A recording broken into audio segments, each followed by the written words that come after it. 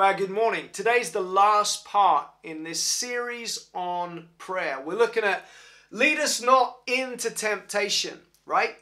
Now, I know because I've talked to some of you, you don't like this whole idea that Jesus had this structure of priorities for us to pray through.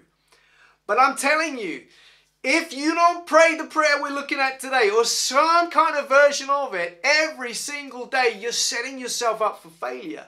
Like there's a kind of naivety if you don't know the need of praying this prayer or your theology's off. So hopefully we're going to correct that because there are some prayers you pray so you don't have to pray. Let me say that again. There are some prayers you pray so you don't have to pray later, right? And this is one of them. So go with me to Luke's Gospel, chapter 11 again. Uh, and we're going to read the whole prayer all the way through now. And I'll, I'll pick off these headings uh, afresh. Here we go. Father God, speak to us through your word. Luke 11 says this Jesus said, When you pray, say, Father, hallowed be your name. You start with praise and worship. You focus on Him, not you. Secondly, he said, Your kingdom come. After you've praised, you're listening. Father, what is it you want to say? Start with Him, not you. His will, not yours. Then you bring in the request. Here we go, verse 3 Give us each day our daily bread. Ask for what you need. And forgive us our sins, for we ourselves forgive everyone who is indebted to us. We talked about that last week. It's that like coming to the place of the clear conscience. Because the prayer of a righteous person gets the job done, right? We want that clear conscience. And now here we are today. Lead us not into temptation. All right, hopefully it's clear what lead us not into temptation means. It's a simple request to God for help to overcome temptation, that we wouldn't fall into the trap of it during the day. It's that simple. I say hopefully though, because I think it's worded a little bit complicated. Like, no one uses the phrase today like lead us not into anything. Like if Nicola's in the kitchen, there's a whole pile of washing up, you know, and she's beckoning me into the kitchen. I don't say to her, lead me not into the kitchen. I say, don't lead me into the kitchen. So, you know, it's a little bit archaic, the phrasing there. Um, and I think that's probably the, the translators like NIV, ESV keep that phrase out of respect for the fact that it was the King James Bible that popularized this prayer, uh, which has become familiar uh, in many different places, churches, even like political environments, sometimes will they use this prayer. And so it's kind of out of to keep that sense of familiarity. But there's another problem, like to pray, lead us not into temptation. In modern English, it almost implies like God could lead us into temptation, which is nonsense. Like, you wouldn't pray, like, God, please tonight, don't lead me to burgle my neighbors. You know, it's just ridiculous. God doesn't lead anyone into temptation. And it's just a problem with translation. Like, the King James Bible was like a, almost a word for word translation, trying to get it as accurate as possible. But word for word translation doesn't always work. I'm learning Spanish, and the phrase, like in Spanish, ya llegando, the word ya means already, uh, llegando means arriving. That's the literal translation. So if someone rings me up and they says ya llegando, I'm thinking, oh, they're already arriving. But that's not what it means. It actually means it's a way of saying I'm on the way or I'm coming soon. So when we were in uh, Dominican Republic, there were like posters and even graffiti saying Ya Cristo viene. And literally that means already Christ comes. Already Christ comes. And I'm thinking like, what kind of heresy is this? They're saying Jesus has already returned? Well, like, no, it's it. The word "ya" already is used to kind of suggest imminence. So what it literally, what it actually means, instead of the word-to-word thing, is Christ is coming soon. And so here, with this this like prayer, lead us not into temptation. It's not praying, God, don't lead me into temptation, you tempter. It's saying, God, like, lead me out of it. Like, don't let me fall into this, which is the way the New Living Translation uh, translates it. So hopefully that's clear. But in case it's not, go with me now to James chapter 1. James chapter 1 and verse 13 and 14, which says this Let no one say when he is tempted, I am being tempted by God, for God cannot be tempted with evil, and he himself tempts no one. But each person is tempted when they are lured and enticed by their own desire. That nails it, doesn't it? Like, God is good. He's only going to lead you into good if you follow him. He doesn't tempt anyone. He might lead you into a situation where there's temptation there so you can conquer it, but he won't be the one tempting you. But the next point that James makes here also essential to understand. He said, temptation comes from your desires within you. And this is really what I want us to lock and load, really understand. When you become a Christian, you get a new heart, the Bible says, with new desires to please God, to honor Him and serve Him. You get this connection with, with God, with the Holy Spirit. You have the, the righteousness of God, of Jesus Himself, released on the inside of you. But the other old desires don't go away. Through the power of Christ, we're to conquer those things overcome those things. We still have a flesh that we need to discipline. And I don't know about you, but mine is like a spoiled child. You know, I'm, I'm sat there watching TV, and the spoiled child flesh is like, Daddy, can we have that? Daddy, can we have that? Daddy, can we have that? Only what I'm looking at is other women and other people's stuff and covetousness and lust and the, the pride of life. All these things are kicking off in my flesh and I need like a good parent to say, no, no, no. And it's not just Netflix, it's the whole world, Jesus said, is under the evil one. And so Jesus said to his disciples, pray so that you don't fall into temptation. The night that he said that, he prayed all night. They slept. He overcame the world. They were overcome with temptation. We pray so we don't have to pray. All right, to really like land this, we're going to read another big chunk from the book of James. James chapter 4, and we're going to read from verse 3 down to verse 10. Here we go. You ask and you do not receive because you ask wrongly to spend it on your passions. You adulterous people, do you not know that friendship with the world is enmity with God? Therefore, whoever wishes to be a friend of the world makes himself an enemy of God. Or do you suppose it is to no purpose that the scripture says he yearns jealousy over the Spirit that he's made to dwell in us? But he gives more grace. Therefore, it says God opposes the proud, but gives grace to the humble. Submit yourselves, therefore, to God. Resist the devil, and he will flee from you. Draw near to God, and he will draw near to you. Cleanse your hands, you sinners. Purify you heart, your hearts, you double minded. Be wretched and mourn and weep. Let your laughter be turned to mourning and your joy to gloom. Humble yourself before the Lord, and he will exalt you. All right, we're going to just take this apart now. Verse 3 James says, Look, the, the reason your prayers aren't being answered is because you're starting from a place of selfishness to spend what you receive on your own passions. Now, that doesn't mean passions the way we use it modernly, like, you know, our own kind of desires and dreams, are things we want to see God do in the earth. It means selfish pleasures. That's essentially what it means selfish pleasures. Like, that's the cancer at the root of Christianity selfishness. And then the next verse, verse 4, he says that kind of way of looking at things, like spend everything on your own pleasure, you do, you do it your way. He said that's the way of the world. You embrace that, that's the way of the world. And actually, you're turning away from God. These are like divergent paths. And then verse 7, he says, Who's behind all this? It's the devil. You've got to resist the devil. So you've got like this selfishness, it's connected to the whole world system, it's powered by the devil. And all the way through this, he, especially verse 10, James is saying the key, the way out of this is humble yourself. Go low. Go as low as you can. Like recognize your need of God. And that's the prayer you pray so you don't have to pray.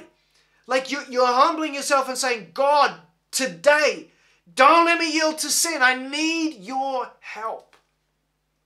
Humility is the key Christian virtue. It's where it all begins. It's why the, the poor in spirit, they're the ones who are going to be receiving God, you know, like it's the meek who are going to inherit the earth. Like it's this this hungering, thirsting for righteousness. I don't have it myself. I need it from you, God.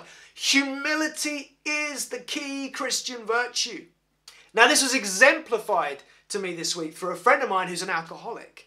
And I happened to be with him as he was kind of confessing like his errors and failures to someone he'd hurt. And I watched him. It was beautiful. Like he didn't defend his sin. He didn't excuse his sin. He owned it. Like I hate those apologies where people say like, I'm sorry if you feel that way. Or, or they give some kind of like generic, like, please forgive me if I've done anything wrong. There was no ifs. He owned it specifically. I did this. It was wrong. Is there anything else you want to tell me where, where I've messed up or hurt you? They said more. They said, I didn't even realize I'd done that. I am so sorry. Owned it, humbled himself. It was beautiful. Later, he said to me, he said, John, I don't have a choice. He said, I have to humble myself. I have to own what I've done. And, and he wept. He mourned. He was doing the James passage. And you know what he said to me? He said, John, they've taught me at Alcoholics Anonymous, I'm not going to make it unless the first thing I do every morning is to sincerely ask God to help me.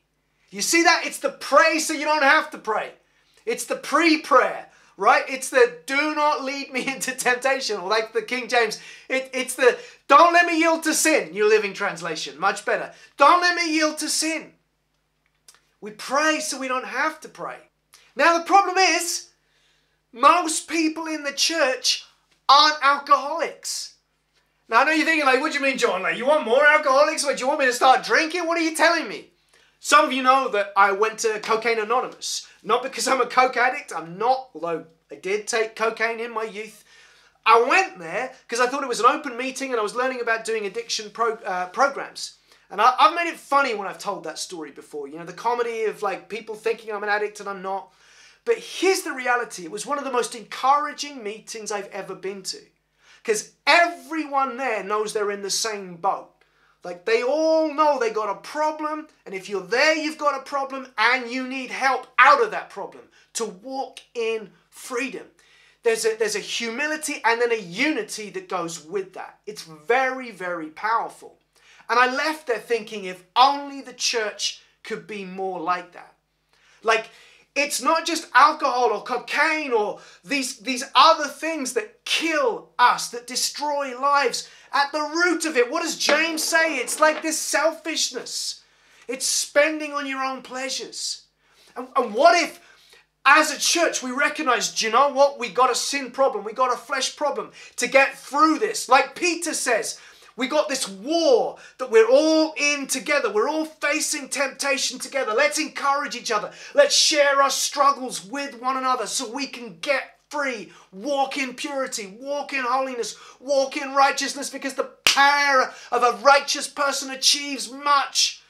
Like, and what about our appeal then to the world? It would have that much more power because we're literally week in, week out experiencing the transforming power of God from one degree of glory to the next. And we're praying this prayer every day because we know we've got a flesh and we're not going to get through the day without temptation to selfishness if we don't say, Lord, don't let me yield to temptation. I need your help.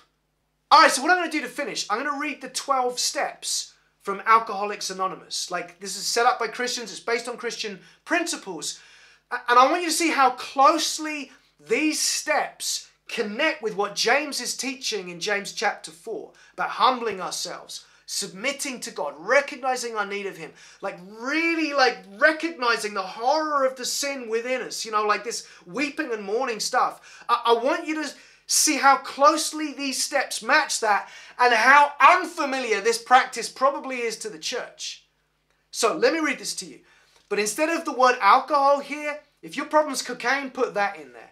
If your problem's selfishness, put that in there. If your problem's greed, put that in there. If your problem's anxiety, put that in there.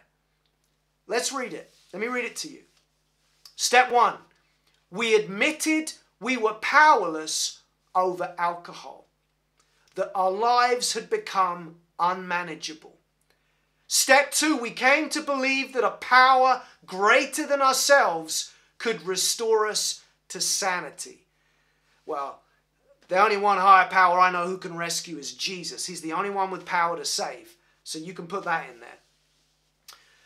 Three, we made a decision to turn our will and our lives over to the care of God as we understood Him. Four, we made a searching and fearless moral inventory of ourselves. Admitted to God, to ourselves, and to another human being the exact nature of our wrongs. That's to confess your sins to one another. That's right there. We were saying that last week from James. Six, we were entirely ready to have God remove all these defects of character. Seven, humbly asking Him to remove our shortcomings. Eight, we made a list of all persons we had harmed and became willing to make amends to them all. That's true repentance. That's the follow through, right? Number nine, we made direct amends to such people wherever possible, except when to do so would injure them or others. Number 10, continue to take personal inventory and when we were wrong, promptly admitted it. Number 11, sought through prayer and meditation to improve our conscious contact with God as we understood Him, praying only for knowledge of His will for us and the power to carry that out. Number 12, having had a spiritual awakening of the, as the result of these steps, we tried to carry this message to alcoholics and to practice these principles in all our affairs. Is that profound? Can, can you see like the, the depth of repentance that, that's kind of being brought through here? You know, this like fearless moral inventory of our lives, where we're falling short. This, this kind of like deliberate, I'm going to make amends where it's appropriate with other people. I'm going to correct this thing. I'm going to follow through on it. This is why Alcoholics Anonymous works. It does. It really, really does. Like they say, work the program, the program works. It's rooted in Scripture, it's rooted in the Word of God. Like this is true holistic repentance. So, all I'm going to ask of you this week, with your prayer partner, I want you to read the 12 steps. I want you to have a think about them. Now, normally in a, a program like Alcoholics Anonymous, you take a step at a time and you might take months over each step until you own it. Like it's not something to be rushed into, but I want us to be provoked as a church community about how deep a transformation God wants to work within us. How deep the battle we're facing is. It is a war. And we cannot wage this war without humility, without deliberately relying on God, confessing to one another, and really praying that we would not yield, not one step to temptation. All right, that's it this week. I'm going to bring the steps on the screen. I want you to have a look at them for a minute, uh, and then I'm going to pray.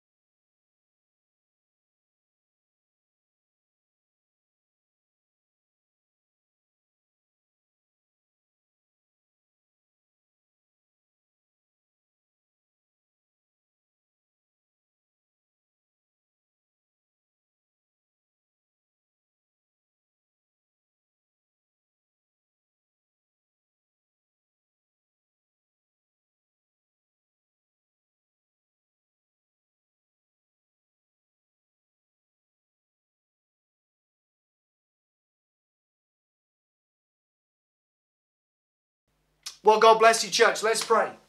Father, I pray with all my heart this week for everyone who's heard this, we would learn to pray daily and we discover there's a power over sin. There's a power over bad habits. Lord, there's a power over selfishness and pride and greed that when we humble ourselves before you, you pour out generously upon us so that we can walk in greater and greater purity. Empower your people as we pray. In Jesus' name. Amen. Amen. God bless you, church. Don't ever forget you are so, so loved.